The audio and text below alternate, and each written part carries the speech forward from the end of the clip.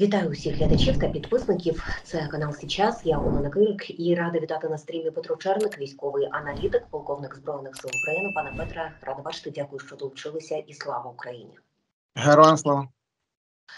Із е, ситуації під Авдіївкою хочу розпочати нашу сьогоднішню розмову, тому що в засобах масової інформації з'явилися такі, значить, формулювання про те, що росіяни відкрили третій фронт у наступі на Авдіївку. Оглядач більд Юліан Рьок, спираючись на дані осайн та е, дослідників, які використовують відкриті дані, говорить про те, що штурми зараз відбуваються не тільки з півдня і з півночі, а і з боку Донецька. Е, Як ви прокоментуєте? Та в стратегічному сенсі там нічого не змінилося і якийсь час не буде мінятися. Авдіївка стала політичною.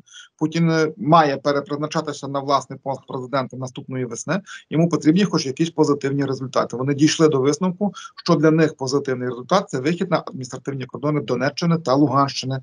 А отже, треба Авдіївку брати. Так само, як і, і і треба посувати позиції в районі е, Бахмута, бо саме ця дуга і є воротами до усієї Донеччини. Ні, нічого нового, і в найближчі тижні нічого нового не буде, допоки шальки воєнних терезів не хитнуться в той чи інший бік. Вони обов'язково хитнуться. Питання лише коли і за яких обставин, і звичайно на чию сторону. Власне, у ці хвилини, коли ми пишемо цей стрім, з'являються інформаційні повідомлення із виступу кремлівського диктатора на G20, і там він зокрема знову е, заговорив про необхідність е, перемовин із Україною. Чи можна це трактувати так, що вже є усвідомлення у Кремлі і конкретно у Путіна, що вихід на адмінкордони Донецької та Луганської областей для них абсолютно не можуть бути зреалізовані, і це недосяжна для них мета. Складне питання. Я би не був таким дуже категоричним. Найгірше, що ми можемо зробити, це недооцінити ворога і переоцінити самого самих себе. Китайський великий мислитель Сунзе нас вчить знай ворога, знай себе. Наш ворог неймовірно підступний. Він може кинути у бій велетенські піхотні вали. Нагадаю, що Бахмут взятий саме завдяки піхоті. Навіть ПВК Вагнер заакцентував на тому, що за 10 боїв місяців вони втратили більше ніж 22 тисячі людей. Це неймовірно багато. Це не включаючи регулярну армію. Я не був би таким категоричним, що вони вже усвідомили, що все в них немає шансів узяти е, узяти і Авдіївку, і посунутися далі в районі е, Бахмута і тому подібне. Оце, що він сигналізує, є більш глибшим явищем і більш серйозним сигналом. Він дає е, всім зрозуміти, що вони не знають, як виходити з ситуації, і що їм направду потрібні переговори.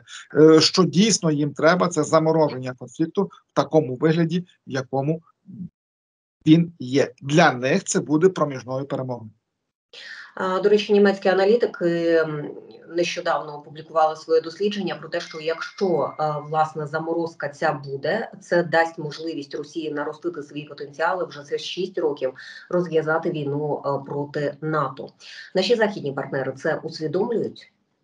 Ну проти НАТО це не серйозна розмова. Я взагалі ну, мене дуже дивує такого рівня аналітика. Мені все дуже це схоже на дуже добре продуманий е, вкид росіян. Ну чи він чи він оцей чоловік є напряму їхнім агентом? Вибачте, що так буду відверто висловлювати, чи, чи корисним ідіотом, то мені це дуже важко зрозуміти. Ну який може бути е, удар Росії по НАТО конвенційними засобами, якщо Росія кинула у бій на непідготовлену Україну найкраще свої військ війська, і на цю хвилину разом з убитими втратила поза 900 тисяч особового складу, а то може і мільйон. Нагадаю, що вся їхня штатна армія на початок війни була у межах мільйона. Якщо просто взяти лінійку, виставити у два ряди і по пунктах пройтися бойовий потенціал країн НАТО, особливо США, і бойовий е, потенціал Росії, такий як він є на сьогодні, ну це не співмірність між собою речі, і вийти через 5-6 років на повторну війну вони зможуть хіба що з Україною, але жодним чином не в НАТО. Мені таке видається, що це таки вкид виключно для власного населення. Чому що мовляв, дивіться, натівці говорять про те, що ми можемо, значить, ми дійсно зможемо. Бо ж насправді вони у своїй пропаганді воюють не з Україною, вони воюють із НАТО, і це чергове розгортання саме такого типу наративу у здоровому глузді казати про те, що Російська Федерація має хоч якісь шанси за винятком зброї е, масового ураження проти країн, ну це абсолютно несерйозна розмова. Перейдемо до власне питання захисту нашої інфраструктури зараз, власне, в холодний період е, від російських дронів та ракет.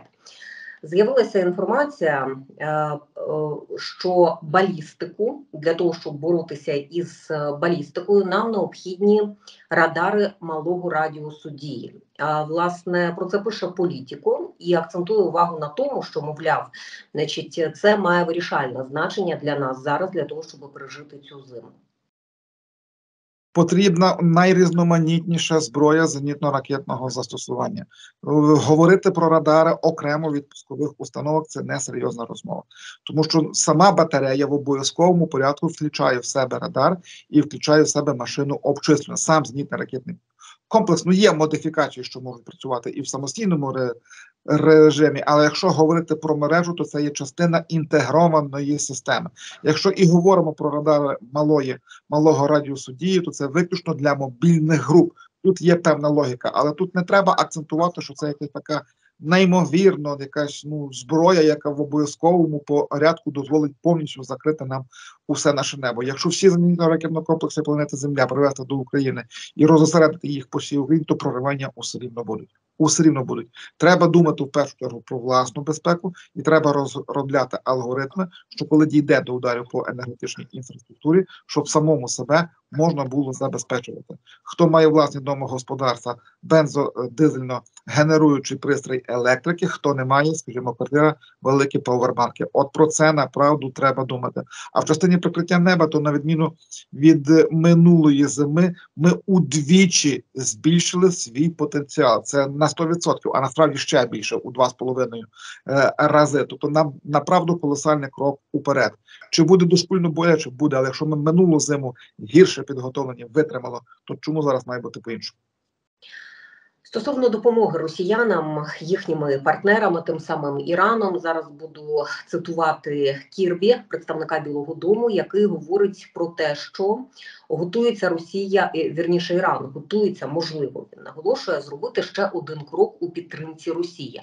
Ми стурбовані тим, каже Кірбі, що Іран розглядає можливість надання Росії балістичних ракет для використання в Україні. Це вже е, можна говорити про те, що розвідка Сполучених Штатів, чи є в них дані, що вже ведуться розмови про надання таких е, ракет Росії зараз. Тому що раніше Сполучені Штати говорили про те, що вони не бачать е, зараз того, що Іран може передавати балістичні ракети. Висока імовірність, дві хороші ракети Фатех 110 і Зульфікар вони мають. Дал далекобійні ракети від 300 до 700 кілометрів завдання е, ударів. Такий собі аналог 9К720 Іскандера. Швидкісні, звичайно, бо балістика завжди швидкісна від, від 4 тисяч кілометрів до 9 тисяч е, кілометрів на годину. Мають бо- бойовий досвід в 2020 році. У січні операція мучених Сулеймані як помста американцям за те, що вони убили їхнього керівника спеціальних структур, який той час перебував свого часу, не, не той час перебував в е, Багдаді в Іраку. Можливо, і нададуть якусь кількість такого озброєння, але це не буде таке масштабоване передавання ракет, які можуть щось докорінно поміняти. Приклад дуже простий. На цю хвилину застосовано більше 10 тисяч ракетного озброєння по території України. І що з того? На лінію розмежу- розмежування по великому рахунку системно не впливає, та й по ній вони е, далекобійними ракетами не б'ють. Ми витримали перші місяці війни, коли не мали жодного зенітно-ракетного комплексу західного зразка. А на цю хвилину маємо підтверджене збивання як самих іскандерів, так і аеробалістичних Х-47 М2 «Кинджал».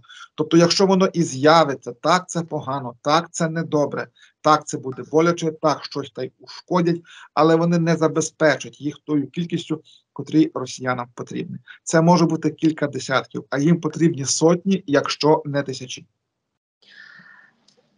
Якось буде впливати е, та ж допомога Ірану Росії шахедами чи балістичними ракетами від розвитку подій зараз на Близькому Сході?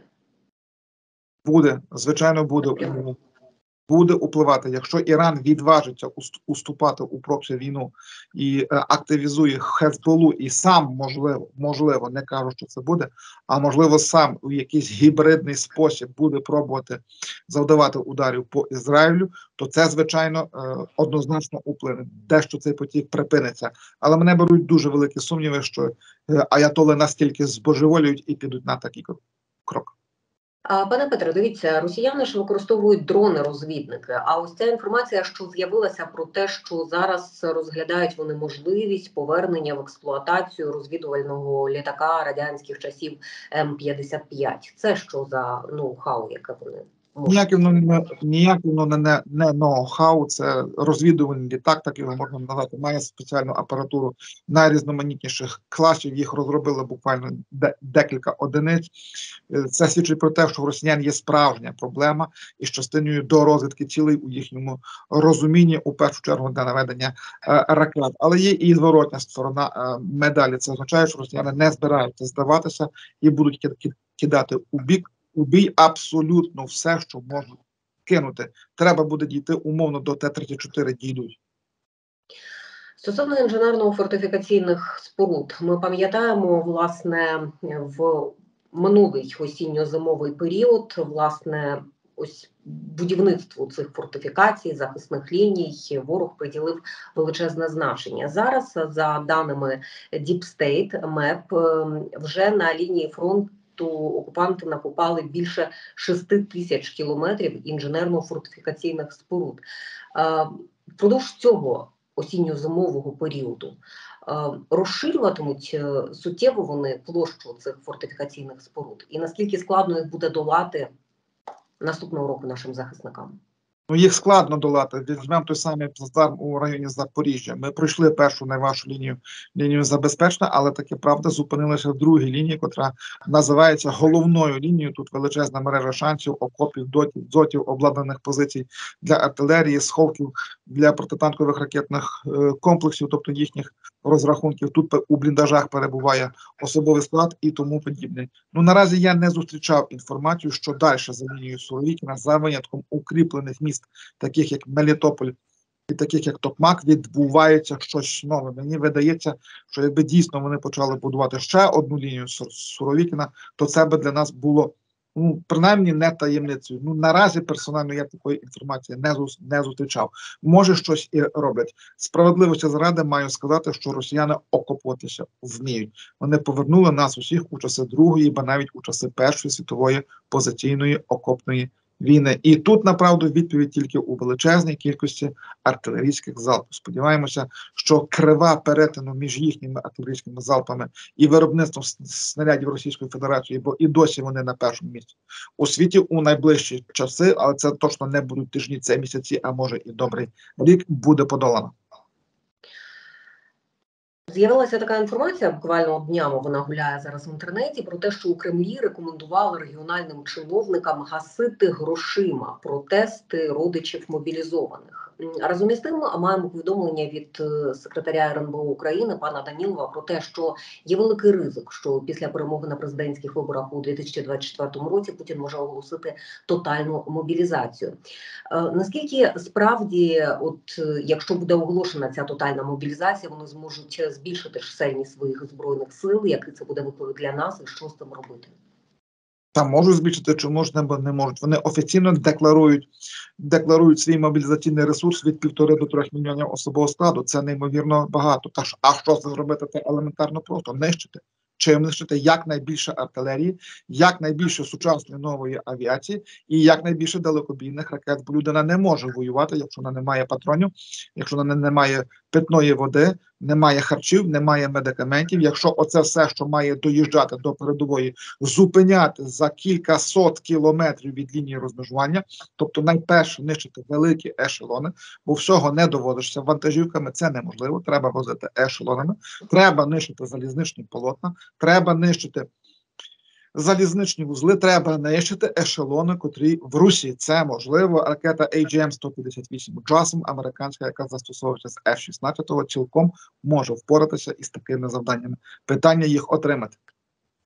Стосовно F-16, от е, в пресі з'являлося повідомлення про те, що власне з огляду на сучасні виклики нам вже навіть не F-16, нам потрібні вже F-35.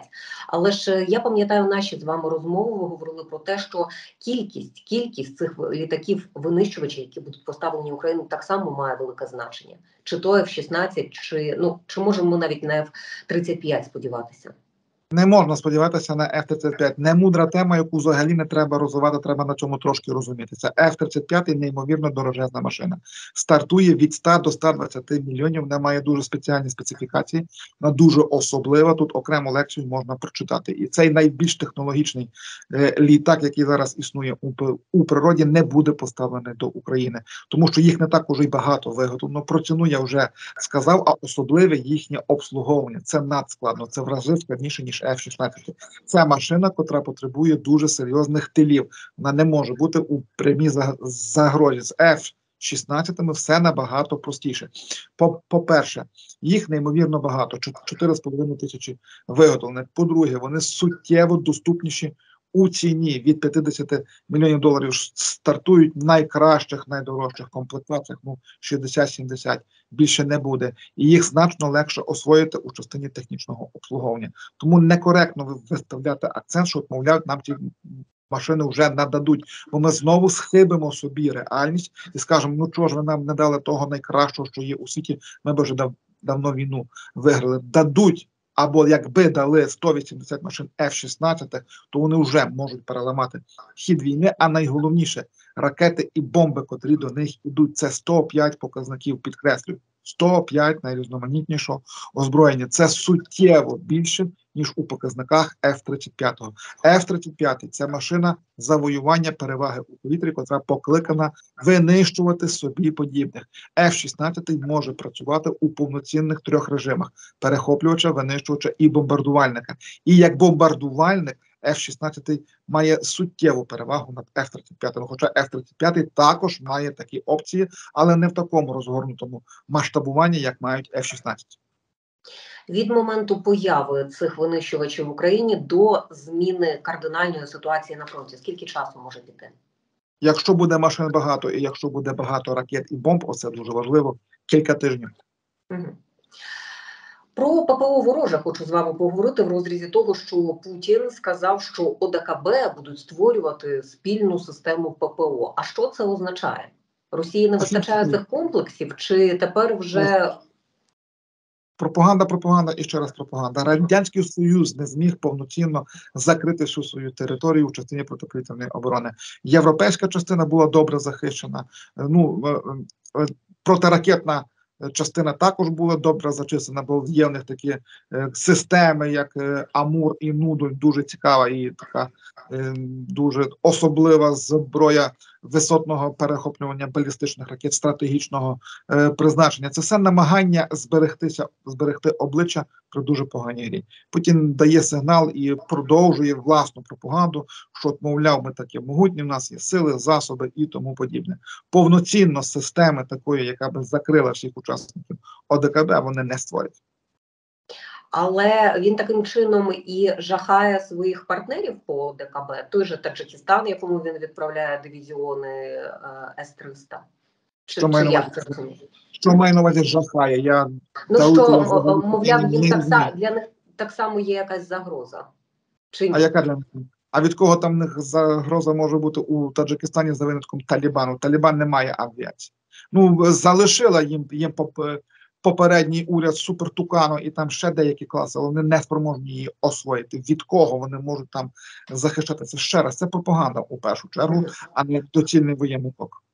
Ну, це намагання показати, що щось у них є на зразок НАТО, а у ДКБ такого фактично ж не існує, особливо з огляду на останні заяви Вірменії. Цілком слушна, коректна і грамотна думка. Пропаганда і ще одне одну тему хочу з вами обговорити, тому що з'являлися повідомлення, що в складі російських збройних сил з'явиться африканський корпус, який буде виконувати не лише військові, а й інфраструктурні та гуманітарні задачі. Африканцями вони що хочуть закрити?